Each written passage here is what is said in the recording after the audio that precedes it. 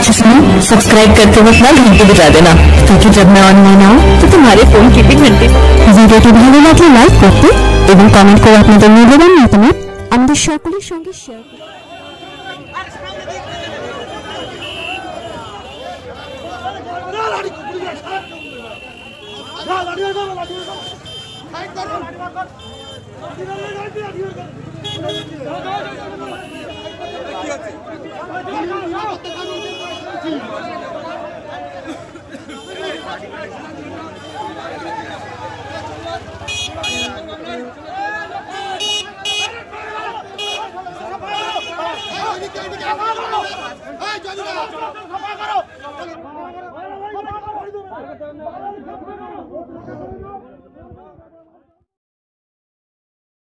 পশ্চিম বিধানসভার হেড়োভাঙার গোপালপুরের যে ঘটনা, এর মাধ্যমে বোঝা যায় যে তৃণমূল, পশ্চিমবঙ্গের তৃণমূল কর্মীরা তারা নিজেরাই সুরক্ষিত নয়।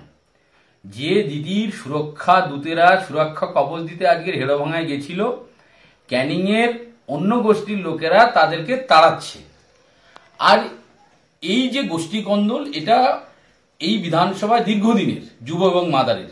আর এর ফলস্বরূপ গত কয়েক মাস আগে গোপালপুরে তিনজন তৃণমূল কর্মীকে, প্রকাশ্য দিবালোকে নৃশংসভাবে হত্যা করা হয় এই গোষ্ঠীদ্বন্দ্বে, একে অপরকে মারে।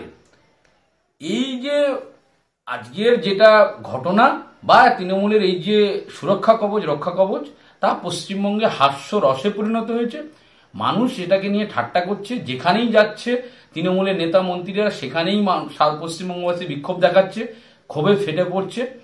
এবং আমাদের বক্তব্য, যতদিন না পর্যন্ত এই তৃণমূল পশ্চিমবঙ্গ থেকে বিতাড়িত হবে, ততদিন পর্যন্ত পশ্চিমবঙ্গবাসী সুরক্ষিত হবে না, সুরক্ষিত থাকতে পারবে, পারে না। যেদিন বিদায় হবে